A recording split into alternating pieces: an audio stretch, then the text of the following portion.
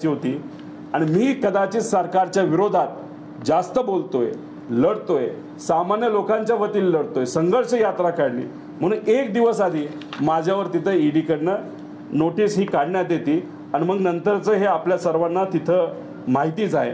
तर हे आपण सर्वांनी तिथं बो समजून घेतलं पाहिजे. कुठल्याही एफ आय आरमध्ये माझं नाव आणि तिथं बारामती ॲग्रोचं नाव अजिबात नाही. तरी सुद्धा याच्यामध्ये माझं नाव हे सातत्याने घेतलं गेलं आणि तुम्ही जर रिपोर्ट बघितला यू डब्ल्यूचा त्याच्यामध्ये क्लिअरली लिहिलेलं आहे याच्यामध्ये काहीही चुकीचं घडलेलं नाही बारामती ॲग्रो आणि कन्नडच्या बाबतीत असं स्पेसिफिकली त्याच्यामध्ये लिहिलेलं आहे. मग हे सगळ्या गोष्टी ईडीकडे असताना तर मग मुद्दामूनच कुठंतरी एक वेगळं राजकारण केलं जात आहे का? इलेक्शनच्या आधी मी शांत बसावं. इलेक्शनला कुठं फिरू नये म्हणून एक नोटीस की दिली जाते का? आणि मग ही नोटीस दिली जात असताना आमचं असं एक मत आहे की मग केंद्रातल्या सरकारला असं म्हणायचं आहे का राज्यातल्या पोलिसांवर त्यांचा विश्वास नाही. कारण ई ओ डब्ल्यू हे राज्य पोलीसच्या अंडर येतं आणि त्यांनी रिपोर्ट दिला असेल तो आता चर्चेत आहे डिस्कशनमध्ये आहे. तर तुमचा त्यांचा विश्वास नाही असं कदाचित अप्रत्यक्षपणे तिथं ते सांगतात. आणि ह्या सगळ्या गोष्टी असताना सुद्धा तिथं मला अडचणीत आणण्याचा प्रयत्न हा केला जातोय. बारामती अॅग्रोला केलं जातंय. त्या पूर्ण बारामती अॅग्रो कुटुंबाला हा अडचणीत आणण्याचा प्रयत्न हा केला जातोय. म्हणजे पहिल्यांदा फाईल केल्यानंतर दोन वर्ष ईडी शांत बसले. आणि जेव्हा सत्ता इथं राज्याची बदलली आणि जेव्हा पक्ष फुटला त्याच्यामध्ये अजितदादांनी त्यांच्या नेत्यांना घेऊन आणि आमदारांना घेऊन वेगळा पक्ष नाही तर जुनाच साहेबांचा पक्ष हा ताब्यात घेतला चोरी केला. त्यानंतर खरं तर ह्या कारवाई जोरात मायावर सुरू झाल्या. ज्याच्यामध्ये एकदा नोटीस आली तेव्हा आमचे एम्प्लॉई गेले त्यांनी माहिती दिली. मला नोटीस आली मी स्वतः तिथं गेलो. जे काय डॉक्युमेंट आहे ते तिथं दिलं. मी अजूनसुद्धा सांगतो अधिकाऱ्यांचं त्याच्यामध्ये ईडीच्या चुकीचं काही नाही. मी त्यांना सहकार्य करतो ते त्यांचं काम करतात. दुसऱ्यांदा तिथं गेलो जे जे काय मागितलं ते सगळं दिलेलं आहे. त्यानंतर जेव्हा तिसऱ्यांदा माहिती मागितली तेव्हा दो बावीस दोन दोन हजार चोवीसला सगळी माहिती आम्ही दिली होती. आणि मग आत्ता अचानक लोकसभेची आचारसंहिता लागण्यापूर्वी अशा पद्धतीने तिथं ते जर कारवाई करत असतील तर मग ह्याला आपण काय म्हणायचं? खरं तर अधिवेशनामध्ये सुद्धा मी जेव्हा बोलत होतो तेव्हा माझे काही मित्र आमदार त्यांनी सांगितलं तुझ्या एकदा ईडीची कारवाई झाली. तू जरा शांत बस. विधानसभेमध्ये अजिबात बोलू नको. काही कुठला मुद्दा किती महत्त्वाचा असेल उद्याचं उद्या बघू. आता तरी तू निवांत बस नाही तर तुझ्या कुटुंबावर तुझ्यावर कारवाई केली जाईल तू अडचणीत येईल. मी त्यांचं न ऐकता तिथं फक्त लोकांची बाजू मांडली अधिवेशनात बोललो आणि आता माझा कारखाना जप्त करण्याचा प्रयत्न हा ईडीकडनं केला जातोय. आता ह्या लोकांनी कारखाने विकत घेतले.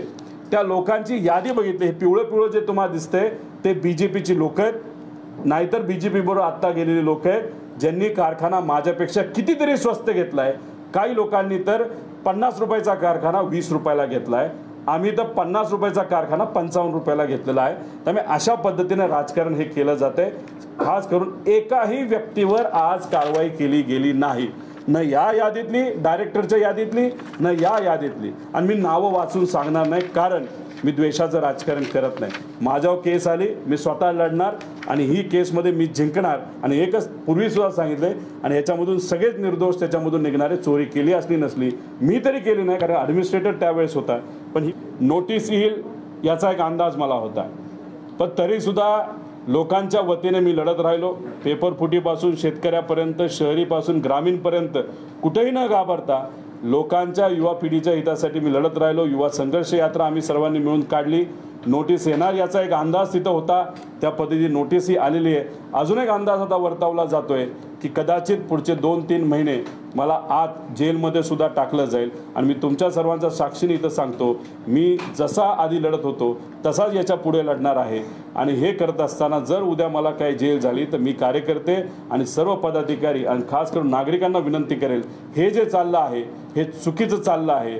जर कुणी कष्टातून एखादी कंपनी मोठी करत असेल आणि त्याच्यावर अशा पद्धतीने कारवाई होत असेल तर ह्या द्वेषापोटी केलेल्या कारवाईत फक्त महाराष्ट्रासाठी आणि लोकांच्या हितासाठी मी जर लढत असेल आणि तर मला कारवाई केली जात असेल तर उलट मी म्हणेल या कारवाईचा मला अभिमान आहे. कारण का जे मुद्दे मी मांडत आहे ते खऱ्या अर्थाने दिल्लीला आणि इथं असताना राज्य सरकारला त्या अडचणीच्या वाटत आहेत आणि मी तुमच्यासाठी लढत राहील जेलमध्ये टाकलं तरी चालेल. पण जर तसं काय घडलं तर मला एकच आपल्या सर्वांना विनंती करायची आहे की आपल्याला लढावं लागेल. कारण हा अस्मितेचा विषय झालेला आहे. आज मोठे मोठे नेते दुसऱ्या पक्षात गेलेले आहेत. विचाराला सोडून गेलेले आहेत. ते फक्त का गेलेत हे तुम्हा सर्वांना माहिती कारण त्यांच्यावर कारवाई होणार होती. तिथं गेल्यानंतर काय झाले? त्यांची ताकद कापण्यात आली. आम्ही सातत्याने हे सांगत होतो तुम्ही तिथं गेला बी जे बरोबर तुमची ताकद कमी केली जाईल. आणि आज लोकसभेच्या तिकिटाच्या बाबतीत जे काही त्यांचं निगोशिएशन चालू आहे त्या बाबतीत जर तुम्ही बघितलं तर असं कुठंतरी आता जाणवायला आहे की स्वाभिमान या लोकांनी सगळ्यांनी घाण ठेवला आहे आणि फक्त स्वतःवर कारवाई होऊ नये म्हणून तिथं या लोकांचं ते ऐकून घेत आहेत. आणि हेच लोकसभेला होणार आणि हेच विधानसभेला होणार.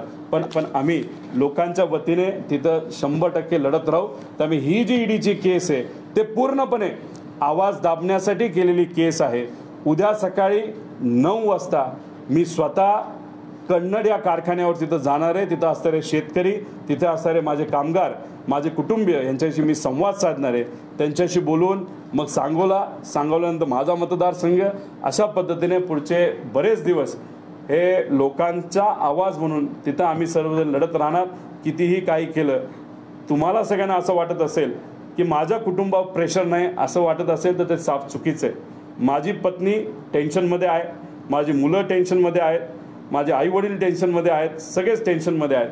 पण मी त्यांना एवढंच सांगतो की सगळेच जर उड्या मारायला लागले सगळेच विचार सोडून जायला लागले तर लढणार कोण? आणि लहानपणीपासून तुम्हीच आम्हाला शिकवलं आहे माझ्या आईवडिलांनी की लढणं ही आपली जबाबदारी आहे. आणि स्वाभिमाने लढणं आणि स्वाभिमानी टिकवणं ही आपली जबाबदारी आहे. त्यामुळे आईवडिलांनी लहानपणी शिकवलेल्या गोष्टी ज्या मला तुम्हा सगळ्यांना आहेत त्याच मनामध्ये ठेवून आम्ही लढत आहोत. कारवाई केली जाणार. मी माझ्या कुटुंबियाला सुद्धा तिथं माफी मागतो तुम्हाला या अडचणीमध्ये आणलं.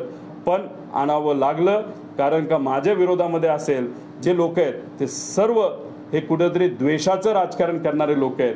ज्यांनी दुसऱ्या चुकीच्या गोष्टी केल्या त्यांना तसंच वाऱ्यावर सोडलंय आणि कष्टातून कंपनी उभी केली तरी आज आम्हाला अडचणीनं आणलं जातं. त्यामुळे मी माझ्या कुटुंबियाला माफी मागतो आणि लोकांना एवढंच सांगतो की लढ लढणार जिंकणार पण एवढंच इथं सांगतो आणि आपल्या जे बघत असतील आणि खास करून जे जवळचे आणि आता लांबचे झालेले आहेत राजकीय दृष्टिकोनातून त्यांना सांगायचं आम्ही द्वेषाचं राजकारण करणार नाही.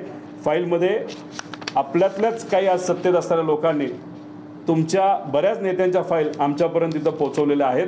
बघू उद्या काय करायचं त्या बाबतीतलं. पण आम्ही फक्त विचाराचं लोकांचं महाराष्ट्राचं स्वाभिमानाचं तिथं मनामध्ये ठेवून आजचं हे राजकारण जे दूषित होतं त्याच्या विरोधात आम्ही लढत आहोत.